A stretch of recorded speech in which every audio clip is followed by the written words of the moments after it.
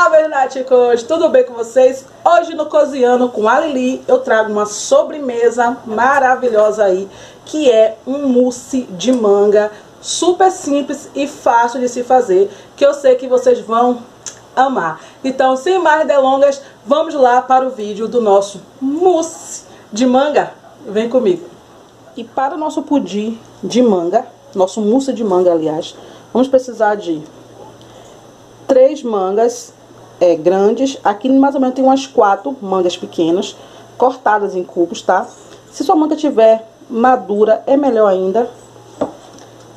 Uma caixinha de creme de leite. Uma caixa de leite condensado. Um envelope de gelatina sem sabor. E 50 ml de água para hidratar a nossa gelatina. E vamos começar a nossa receita batendo a manga no liquidificador. A gente vai bater essa manga com aproximadamente umas 150 ml de água, porque eu quero uma polpa bem grossa. Então vamos lá?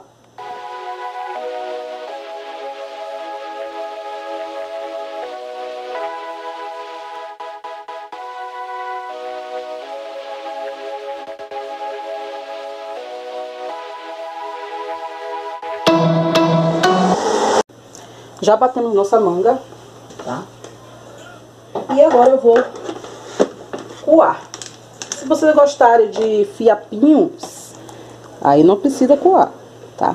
Mas eu vou coar. Então é só passar a nossa manga pela peneira.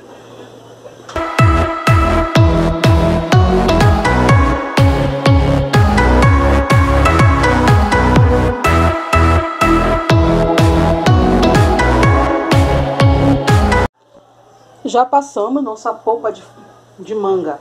Eu ia dizer polpa de frango. polpa de manga pela peneira. Eu agora vou hidratar a minha gelatina. Eu coloquei 50 ml de água para poder dar uma esquentadinha, certo? Ou vocês podem levar no micro-ondas. Eu vou mexer aqui até dissolver totalmente a gelatina. E tem alguém... Agora é bater todos os ingredientes no liquidificador. A nossa polpa de manga aqui já está pronta. Eu vou colocar a polpa de manga, o leite condensado, a gelatina já diluída e o creme de leite. Gente, deu mais ou menos umas 400 ml de polpa, tá? De manga. Então, é só colocar os ingredientes e bater até que fique a mistura bem homogênea.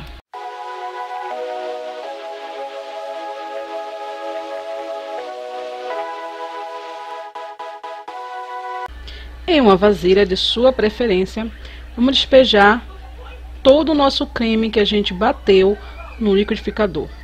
Eu vou levar essa misturinha na geladeira por aproximadamente 2 a 3 horas, certo, meus amores? E eu coloquei também em tacinhas. Eu cobri com papel filme e simples, levar agora à geladeira e esperar gelar.